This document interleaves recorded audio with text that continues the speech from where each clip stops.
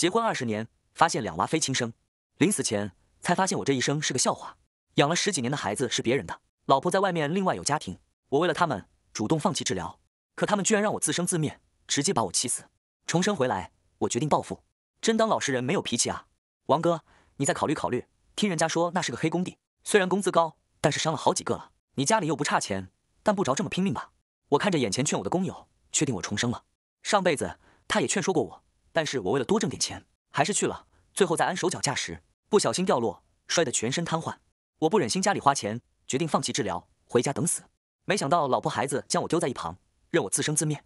在我奄奄一息时，竟然听到儿子王宇杰嫌弃的对老婆李玉玲说：“老头怎么还不死啊？要不然把他送回乡下算了，到时候真死家里了，多晦气！”就算知道久病床床前无孝子，我还是很难过。我对从小就对他疼爱有加，没想到我儿子竟然盼着我早点死，还嫌弃我晦气。李玉玲温柔地安慰他：“你再忍忍吧，送回村里了不方便，不管他的话。”村里人会多管闲事报警的，城里多好，关起门，谁知道你在做什么？我难过的闭上眼睛，原来结婚这么多年的妻子也想让我死，那我辛苦打工是为了谁？儿子继续发泄不满，老婆又说：“好了，你别生气了，想想他家的地，等拆迁款一下来，你想要什么样的房子没有？到时候我和现在的老公离婚，咱们一家人就可以好好的享福了。”什么？我的老婆居然还有别的老公？给我戴绿帽子，还想要我老家的房子和地？我愤怒的想起身来问。但是长期被病痛折磨的身体没有一点力气，只能用喉咙发出点嘶吼气声。女儿王晴晴听到动静后，向李玉玲撒娇：“老头这个动静太吓人了，妈你快想想办法啊！要是他再这样，我就和朋友出去玩了。”李玉玲的声音向我靠近，真是两个小祖宗，几天都忍不了，妈这就去送送他。她推开门，用手捂住嘴鼻，居高临下的看着我：“王守仁，饿了这么久，你怎么还不死啊？真是个蟑螂！”我无助的吼叫，盼望儿女能良心发现，来帮我。李玉玲察觉到我的意图。掩嘴轻笑，别白费力气了。这两个孩子都不是你的，又怎么会向着你？我当时匆匆的嫁给你，就是看你家里只有你和你妈两个，好糊弄，把孩子生下来有人养。他见我气得呼吸急促，更得意了。没想到你这个傻子，把他们当亲生的一样疼爱了几十年。你放心，等我们拿了钱，就把你和你那个傻子娘埋在一起。一家的傻子，给我养了这么久的孩子，还对我感恩戴德。我气得眼前正正发黑。我王守仁一辈子勤勤恳恳、老实巴交，怎么就遇到这种毒妇？我辛辛苦苦省吃俭用的。养了十几年的孩子是别人的不说，连头上的绿帽子什么时候戴的都不知道。李玉玲还不满意，又低下头来。你以为当时和你扯离婚证是怕我娘家要钱吗？你以为我把房子写儿子名字是为了让你放心吗？其实都是为了以后好甩开你。他看我还没咽气，又假惺惺的说，原本想等以后你老了不能挣钱了再丢下你的，没想到居然发生这种好事。你家的地要征用修路了，你死的正是时候，要不然我们还愁怎么把这些钱骗过来呢。我听后直接被活活气死。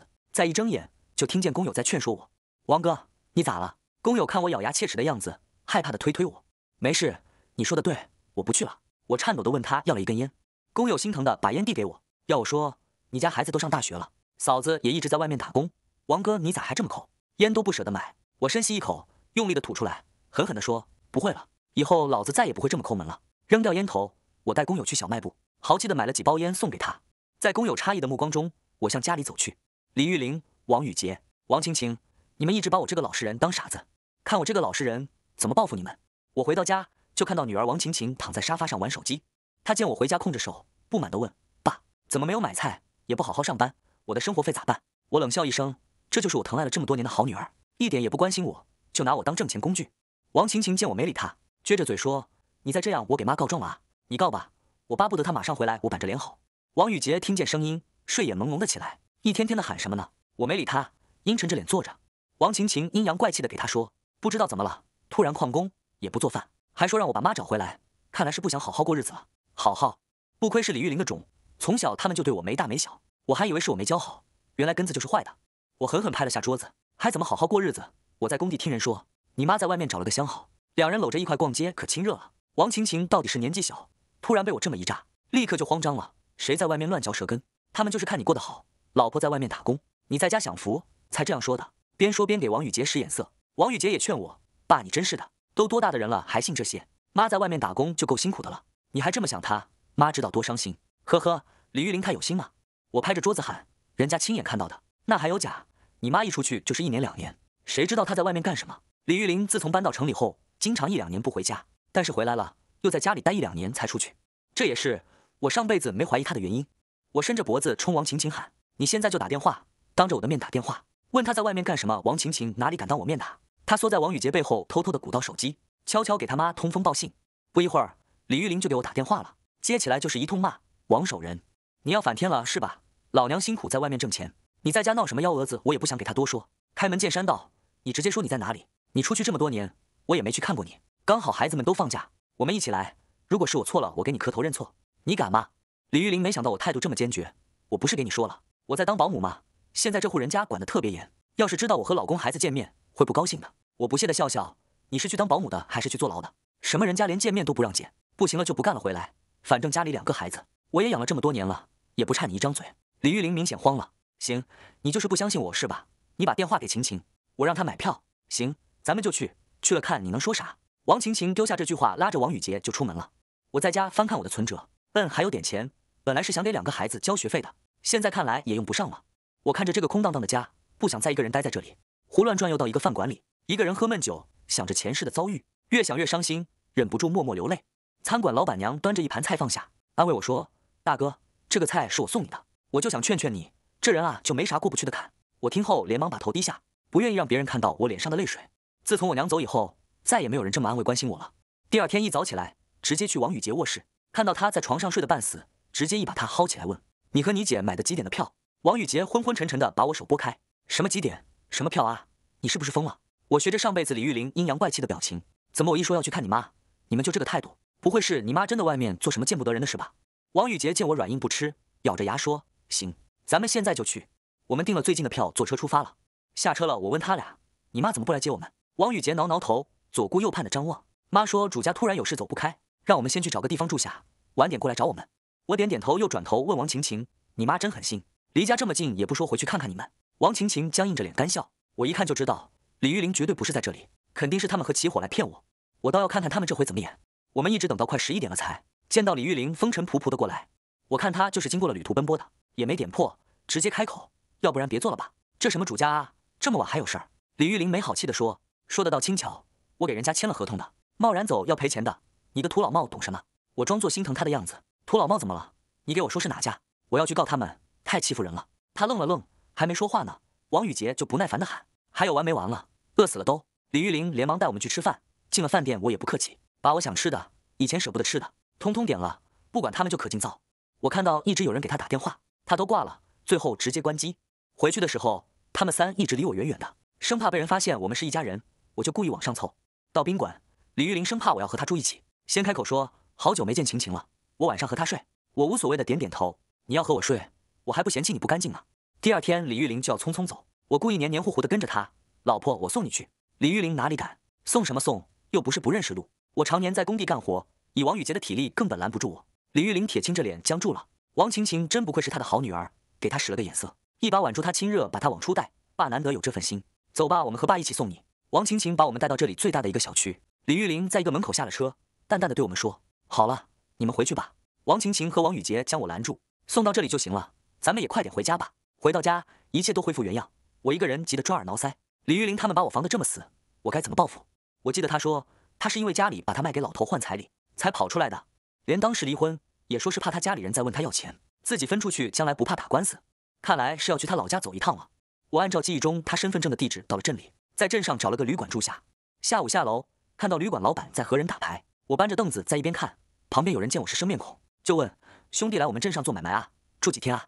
我递了根烟，老实巴交的笑笑，待不了多久。我向你打听个人，李玉玲你认识吗？路人接过烟点上抽了一口，名字听着耳熟。旁边打牌的有个提醒，大林子，西头老李家的小女儿。见他还是没想起来，打牌的急得挤眉弄眼的说，就是和刚子好的那个。哦，是他啊，你打听他做什么？他好奇问我，我挠了挠头，叹了口气，不瞒你说，他骗了我点钱。旅馆老板把牌放下，凑过来，大兄弟，我给你说。你找过来没用，大林子他们家早把他赶出家门了。我掏出烟盒给他们散发。我也不是想要钱，就是气得很。他啥话没说就走了。我想找他问问。旁边人接了烟，七嘴八舌的说：“那你是找错了，他不可能回来。当时他和镇上的刚子好，气得老李头和他断绝父女关系。镇上谁不知道？刚子就是个二流子，整天偷鸡摸狗，惹是生非的。谁家好姑娘愿意跟他？就大林子没脸没皮，整天跟着他混。要是我家姑娘，我也断绝关系。后来刚子因为杀人，两人就跑了，听说被抓了。哎。在哪里被抓的？立马就有人回答：大西县嘛。刚子跑到那里被抓的。当时还上了新闻，大溪县不就是我们隔壁的县？这时又有人神神秘秘的说，有人传大刚子持枪子前给他爹娘说他家有后了，他爹娘都死了，也没见大玲子带着孩子回来过。旁边有人撇嘴，怕是就没生下来。大玲子这女娃一看就不是个安稳过日子的，现在哪有男人那么傻给人家养孩子？我苦笑，这个傻子就坐在这儿呢。旅馆老板拍拍我安慰，大兄弟，听哥劝你一句，别找了，大玲子不是个过日子的女人，你回去踏踏实实过自己的。我抹了把脸点头，这个事情就说得通了。李玉玲的二流子男朋友因为杀人，带着她逃到我们隔壁镇。等男朋友被抓，李玉玲才发现自己怀孕了，想找个老实人养孩子，就找到了我。村里日子太平淡，她过不习惯，就自己出去打工。可是自己又吃不了苦，就想着骗人，但是犯法的事又不敢做，就想出来和我离婚，再找人嫁了。我摸着头想，我又不知道李玉玲嫁给谁，就算打官司说孩子不是自己的，也就让他们名声扫地而已，大不了他们娘仨换个地方继续过日子。这样的下场太便宜他们了。正在发愁，突然听到车上人说征地，想到最后李玉玲说的拆迁款，顿时有了主意。还在车上呢，王晴晴就打电话问你在哪儿，家里怎么没人？我没好气的说，你们俩跑得不着家，我一个孤寡老头子还能去哪？王晴晴焦急的质问，你是不是去找妈了？你怎么说不听呢？妈好不容易找个轻松点的人家，你就去捣乱？你在哪儿？我来接你。我淡淡的回，行了，我知道你们不愿意我去找，我没去，我在老家，马上就回来。刚进家门，王晴晴就举着手机问我。好端端的回老家干嘛？你是不是偷偷去找妈了？我拍掉她的手，没大没小的跟谁学的？我去找你妈干嘛？我回老家办大事。王晴晴一脸不屑，你能有什么大事？我故作高深的开口，县上打算在老家修路，要征家的地，你说是不是大事？王晴晴明显不信，捣鼓了会手机，尖叫着蹦起来，一脸兴奋的问爸爸，新闻上说要在这里修路，真的要买咱家的地吗？我点点头，傲气的回，那还能有价？村长都找我回去谈话了。王晴晴亲热的扑过来，跟你怎么说的？要征多少？给多少钱？我推开他。小孩子别问这么多，我也累了，先去补个觉。没过多久就听到敲门声，王晴晴小声的在门外叫：“爸爸，起来吃饭了。”我冷笑，二十年第一次学会敲门，原来不是他们不懂礼貌，是不想对我礼貌。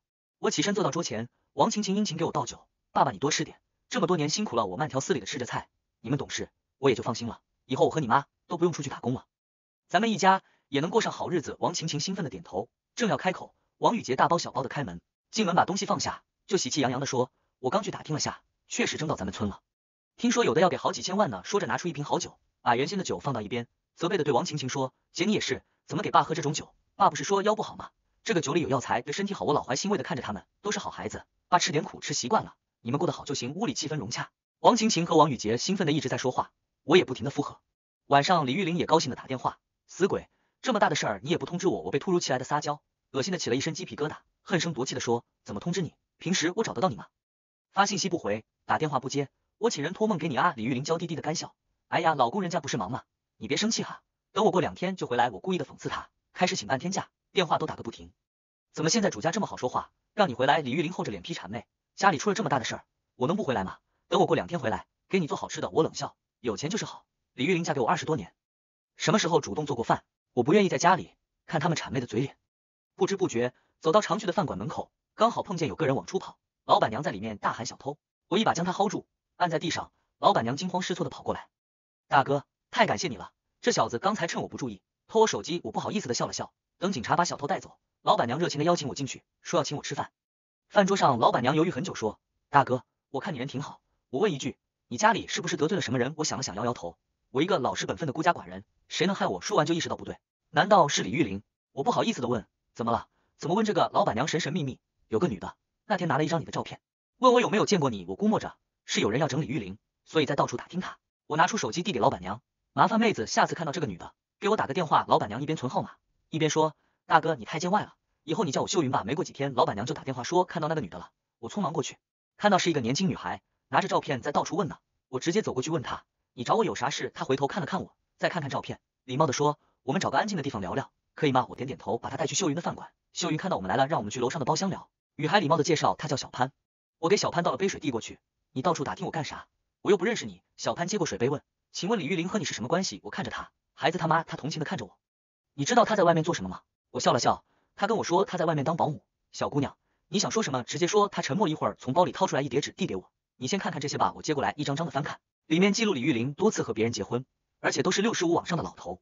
原来他用结婚骗老头的钱。我吃惊的看着他，他骗到你家里来了？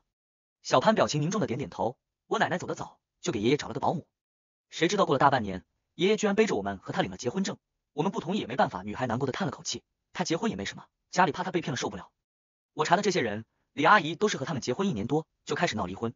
前段时间李阿姨不接他电话，就把他气得差点住院。我怕到时候，我知道李玉玲是个黑心肠的，但是没想到她这么坏。我问他，你咋找到这里来的？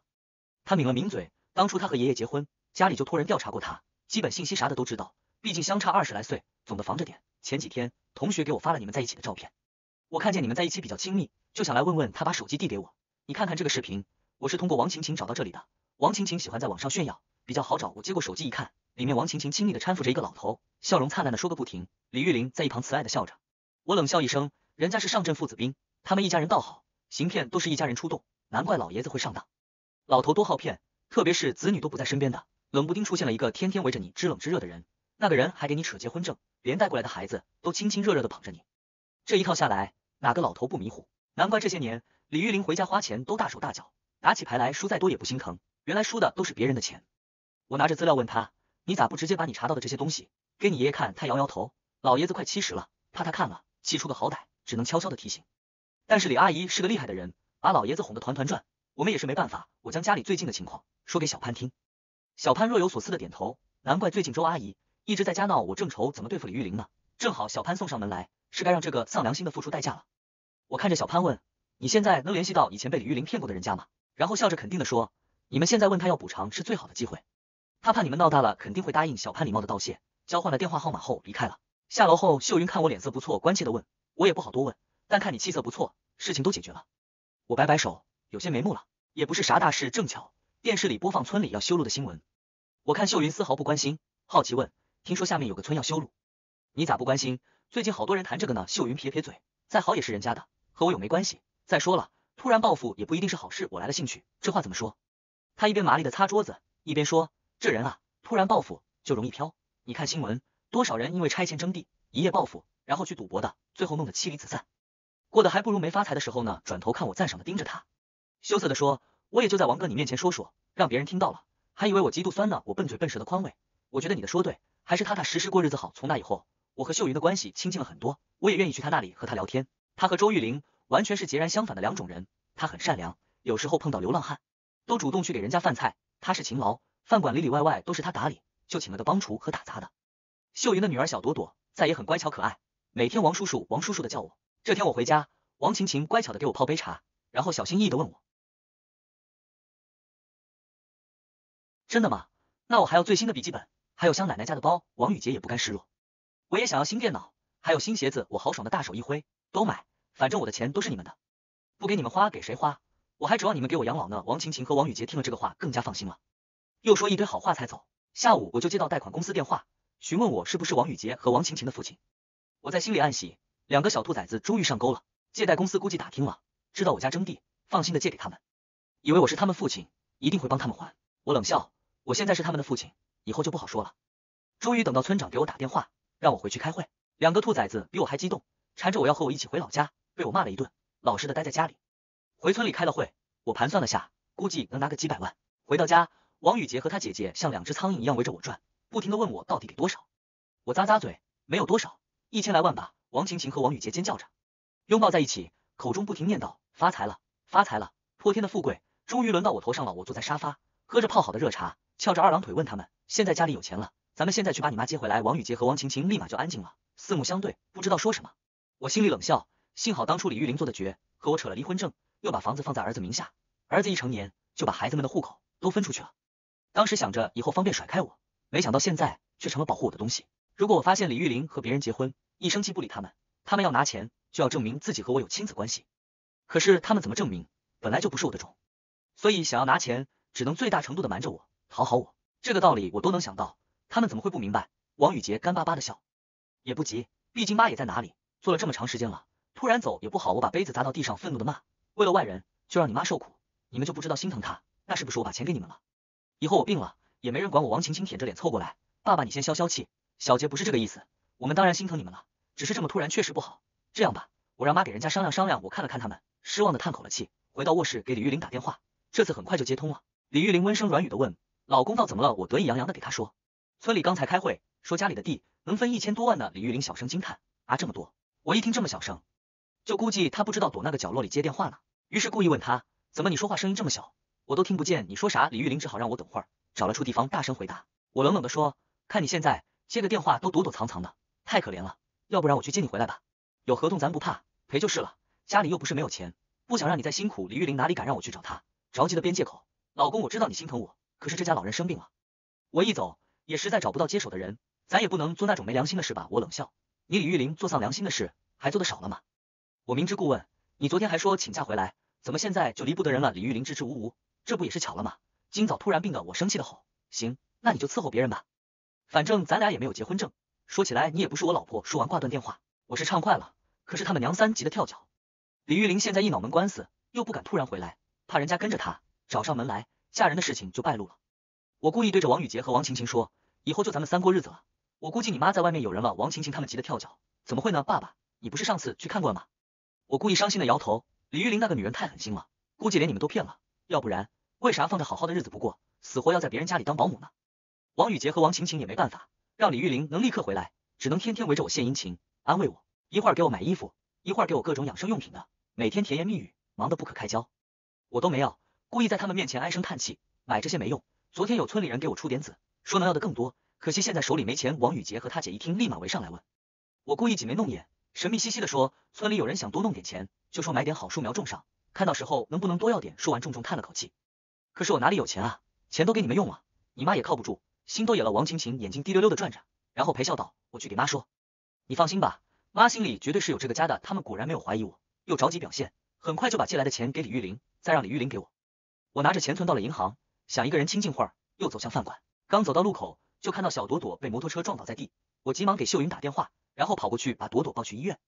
没一会儿功夫。秀云也满脸焦急的赶来，我看她慌得腿软，连忙上前扶住她安慰，没事，医生给朵朵检查了，擦破了点皮，其他没事。秀云一下子松了口气，红着眼圈说，真是不知道怎么感谢你才好。我摇摇头，别说这么见外的话，孩子没事就好。我把他们送回家后准备走，秀云叫住我，我回头问咋了？秀云不好意思的说，你把衣服脱下来。我脱下来一看，原来是后背胳肢窝那块跑线了。我窘迫的挠挠头，衣服穿的太久了，这什么时候破的也没注意。秀云红着脸拿出针线，问我把衣服要过去缝。我看着她补衣服温柔的样子，突然心里想，要是我老婆是秀云就好了。因为心里存了这个念头，拿衣服的时候都不敢看和她对视。从那以后，我和秀云之间的关系好像有点不一样了。我们好像比以前生分了，但是又比以前亲密，有种年轻时候的感觉。舒心的日子没过几天，小潘给我打电话道谢，说李玉玲给了他们几家赔了钱，也和他爷爷离婚了，只是到底是让老爷子伤了心。我估摸着李玉玲为了扒住我，应该是倾家荡产了。就算他有房子，那也不够他们还账的。最后不舍得看着秀云和朵朵，李玉玲回来了就不能经常来看他们了。小潘知道给李玉玲回来了，给我打了个电话，知道我要报复他们，心里也恨极了李玉玲，巴不得他没有好下场，所以送了我个摄像头。我按照他教我的，把摄像头小心的安装在客厅的隐蔽处。李玉玲兴高采烈的回家，看见我就像见了唐僧的女妖精，一个劲的往我身上扑，晚上还要和我一起睡。我只好说自己腰不好，晚上一个人睡觉习惯了。好在他和孩子们一样，见我还是一副好欺负的老样子，是个软柿子。很快就恢复了本性，开始天天摆阔太太架子，不着家的打麻将。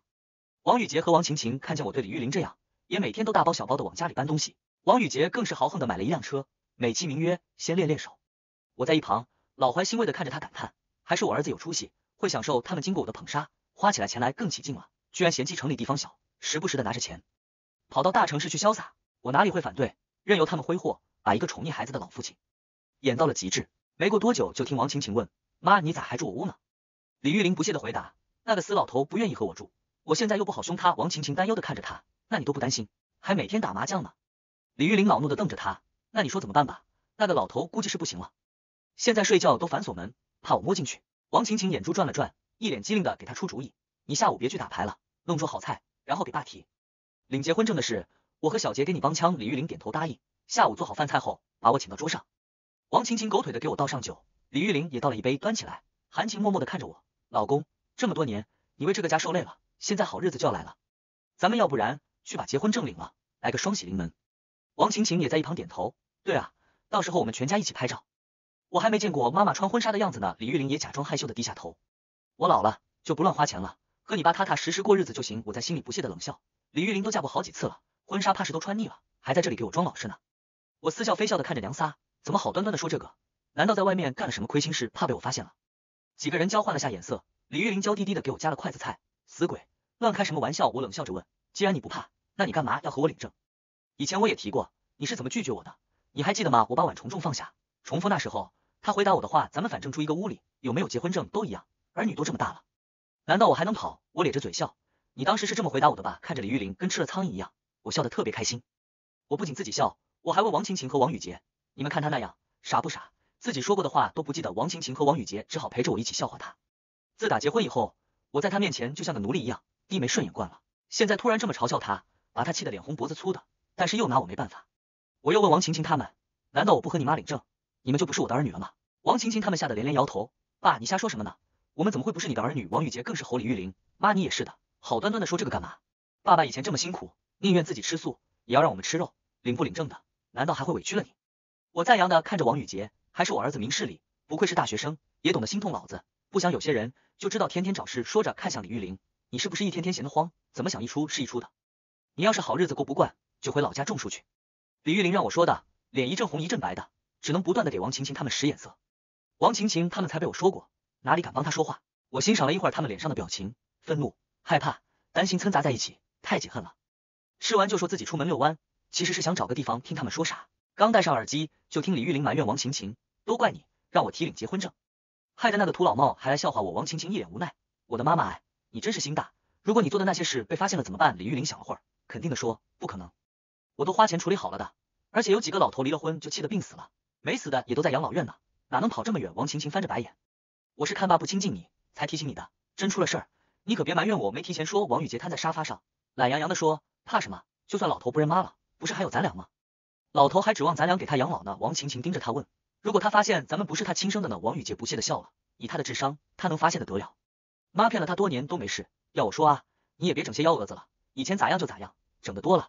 反而让老头怀疑。王晴晴思考了下，你说老头会不会什么都知道了，故意给我下这套呢？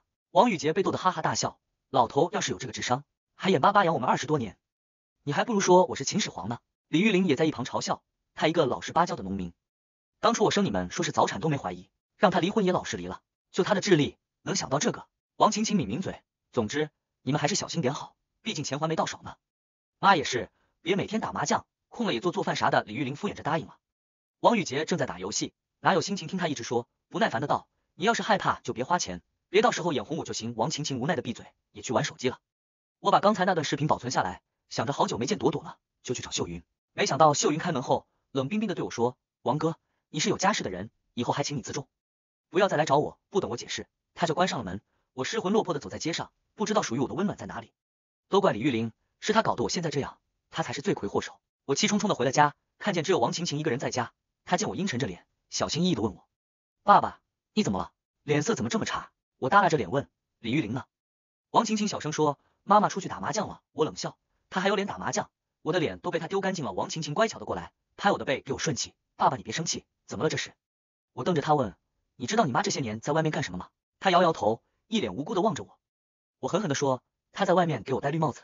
刚才我出去，有人在背后叫我活王八，想着为了他们，秀云都不理我了，我难过的忍不住想哭。”王晴晴看我流泪了，以为是被李玉玲气的，赶紧哄我。爸爸，你别听有些人瞎讲。我擦了擦眼泪，看着他，看来你和你妈是一条心的。那以后你跟你妈过吧。王晴晴吓得脸都白了，急忙解释，不是的，爸爸，从小就是你在照顾我们，我当然是和你一条心了。我点点头，那好，等下他回来，你帮我审问他，你最聪明，以后这些家产可以给你开个公司啥的。王晴晴听后假装高兴，我又给王宇杰打电话说，如果他还认我这个爹，就快点回来，家里发生大事了。等王宇杰回来，我又把话重复了一遍，然后背着手看着他俩。语重心长的说：“李玉玲虽然是你们的亲妈，但你们也别忘了，谁养活你们这么多年？等下你们帮我审她，谁问的多，谁就和我是一条心。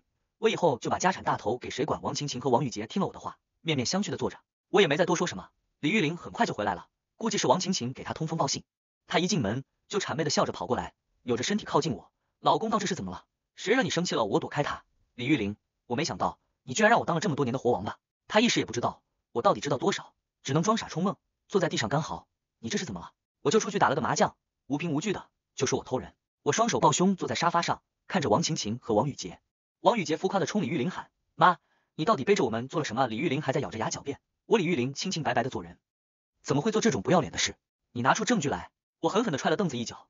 你到现在还在嘴硬，你要是清白，黄河都得改名叫清河，还要什么证据？现在满城上下谁不知道我王守仁是个活王八？李玉玲坐在地上咬死不松口。一个劲的说没有，我示意王晴晴和王宇杰去问，他们都不动，可怜巴巴的把我望着。我看他们这样，决定给他们下个猛药，装腔作势的往外面走。算了，我也看清了，你们才是一家人。这么多年，孩子白养了。王宇杰看我要走，气得上前啪的给了李玉玲一耳光。你把爸爸都气哭了，还不说实话？李玉玲捂着脸，不敢相信的看着自己的亲儿子。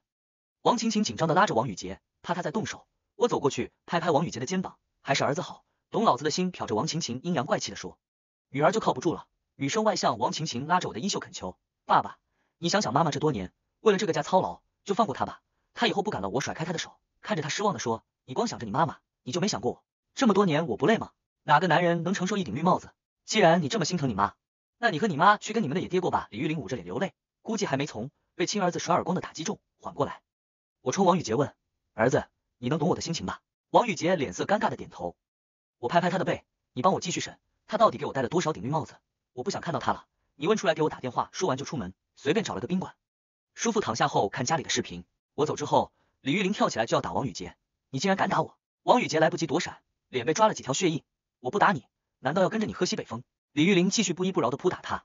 我为你们做了这么多，你居然敢为了这个老头打我！王宇杰一边躲一边喊：“那你要我怎样？你自己做的丑事被发现了。”李玉玲继续扑上去撕扯。老娘做那些事还不是为了你们？老头能给你们买高档手机和高档衣服吗？要不是你们，我会一直陪那些老不死的睡觉吗？你真是白眼狼！王宇杰实在躲不过去了，重重的把他推倒在地。你清醒一点！王晴晴连忙将他扶起来，责备王宇杰：就算骗爸，你也不能打妈！王宇杰看着他嘲讽的笑。要不然怎样？和你一样偏袒妈，到时候一个都保不住。大家一起喝西北风。王晴晴又埋怨李玉玲，我当初都说了让你小心点，你看吧，现在爸知道了。王宇杰烦躁的抓抓头发。现在的问题是，爸到底知道多少？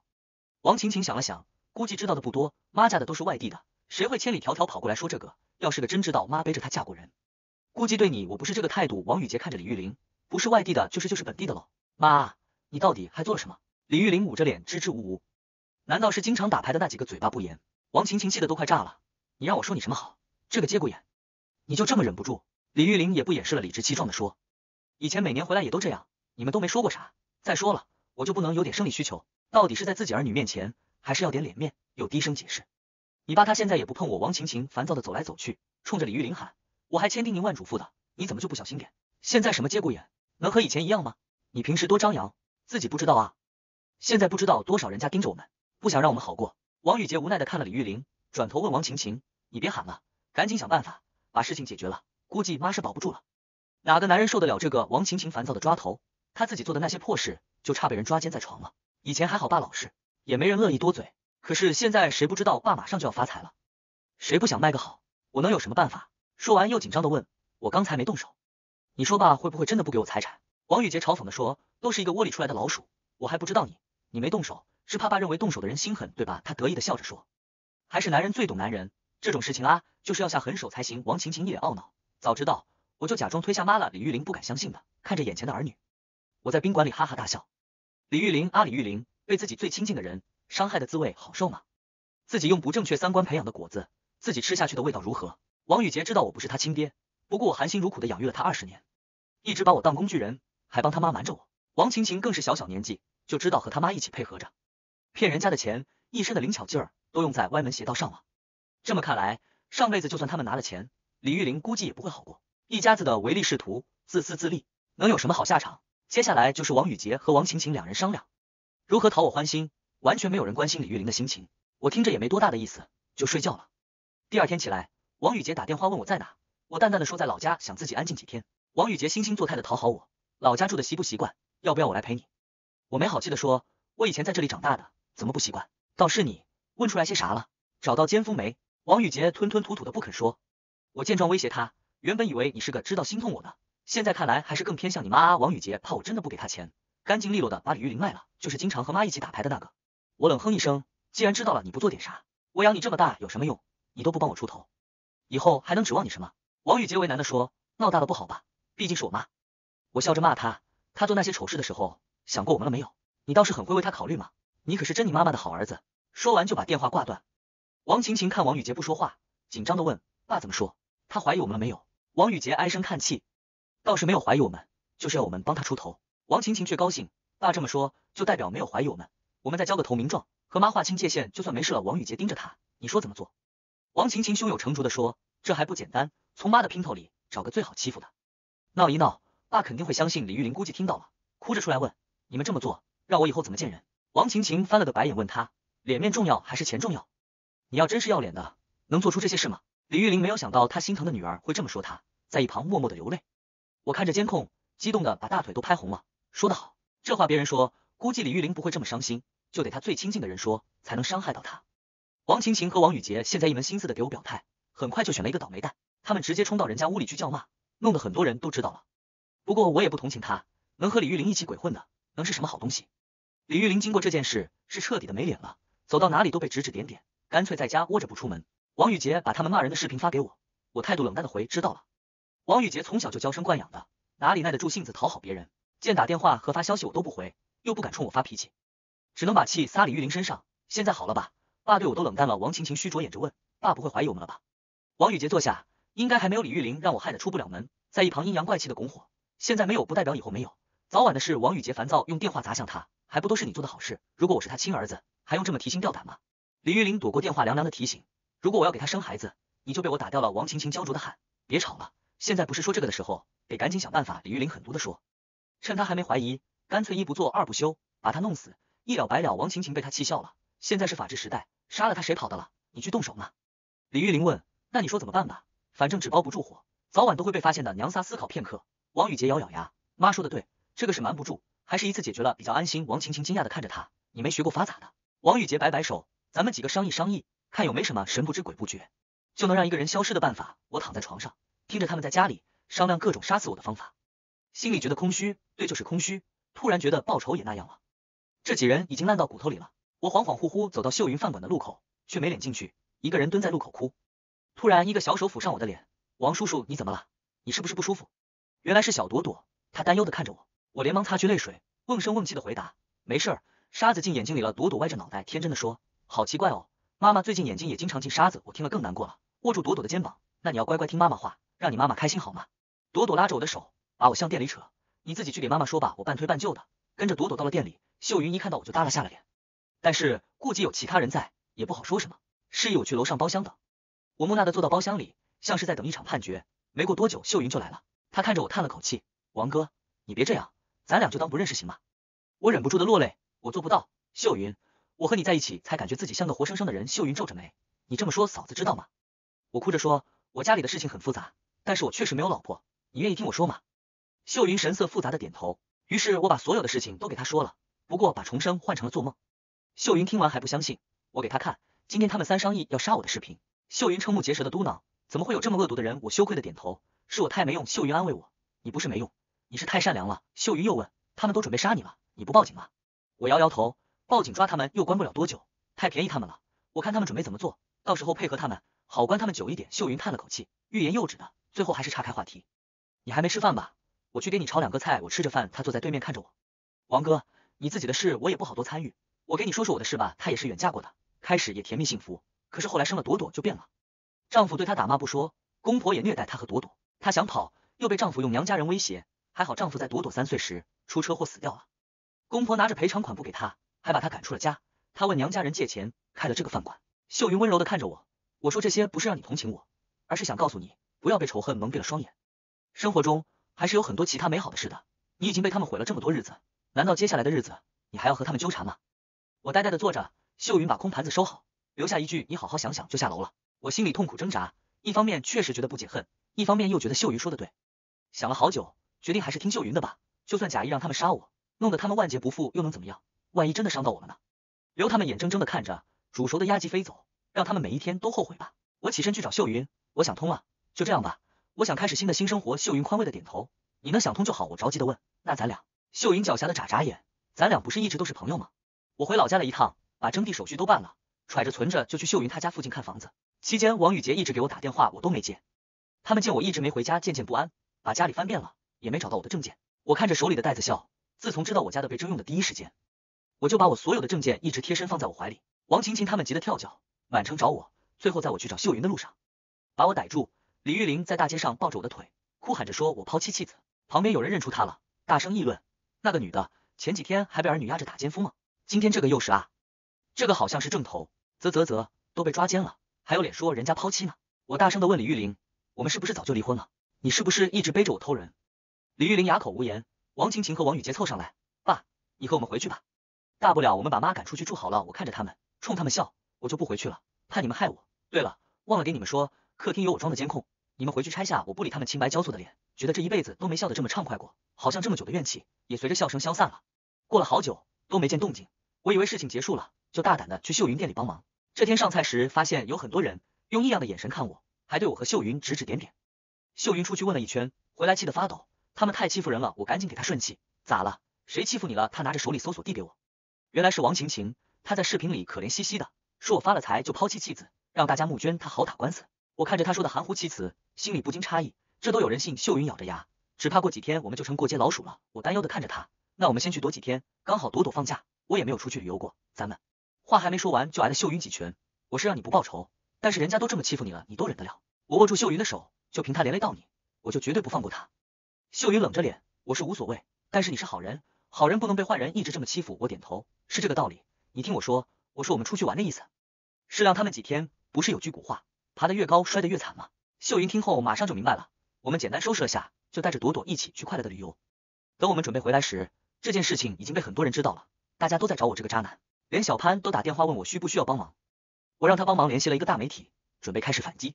他们说我抛妻，我就放出离婚证。放出王晴晴和王雨洁打奸夫的视频，还顺带放出我这么多年的银行流水。